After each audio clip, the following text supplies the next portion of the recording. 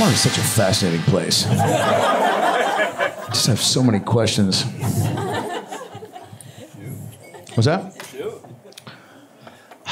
Do you get discounts? Yeah. How much? 10%. That doesn't seem worth it.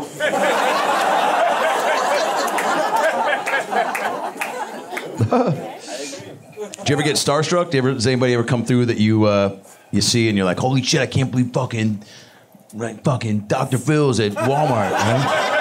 Right? He's like, oh, I'm looking for uh, uh, you know, a giant TV, okay, uh, and, and, and some lube, you know, and a pumpkin spice candle, okay, but not in that order. We'll be right back.